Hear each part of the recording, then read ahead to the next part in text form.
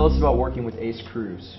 Ace Cruz is a real interesting character just because he's really into meditation. He actually teaches classes in meditation. I'm definitely glad I'm aware of that just because, you know, it's something that I respect and so I think he's someone that really sees everything in his mind very clearly what he wants and I, I think that sort of crucial when you have so little time like we do here, you know, and that he's also the editor and all that. It's, it's you know, it's great. I mean, it's, it's like nothing I've ever done and sort of like it's almost like he shoot it for the editing. It's like he really knows what he needs. You know, I think that he really has the, the potential to, you know, end up making some big movies. I think that this is definitely what he's going to continue to do with his life and continue to make many more movies. So I'm just, you know, I'm just happy to be here. I think that all in all, it's really been a, a really positive experience for me. And it's just nice when it's like, it's not here for a very long time, but it's such a small crew. And like everyone is really, you know, just everybody has to work so hard when it's such a small movie and definitely like tensions rise and that kind of thing but